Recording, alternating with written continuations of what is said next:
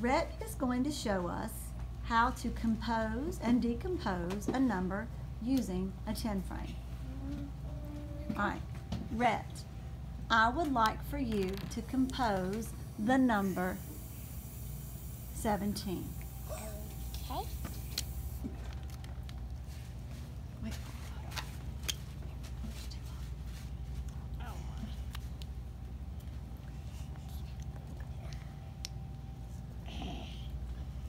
Go ahead and get started.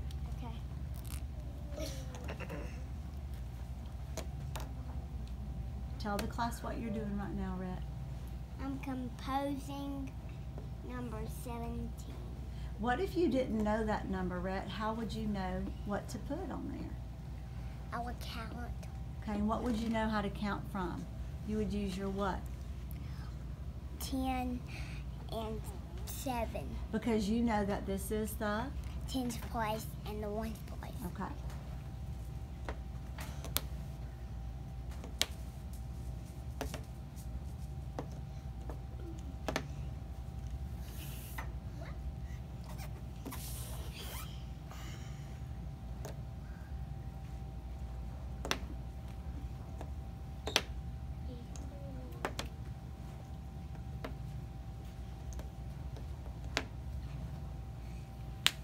It's okay, we'll get the just use another one.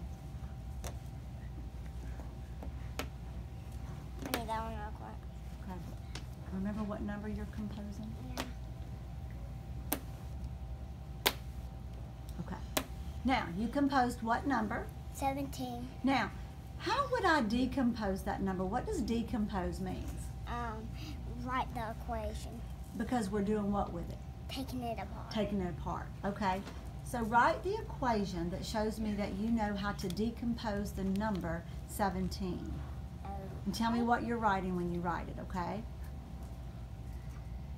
I know lots of equations for 17. Okay, but show me that equation Okay. on how you decompose just the parts of it. Okay?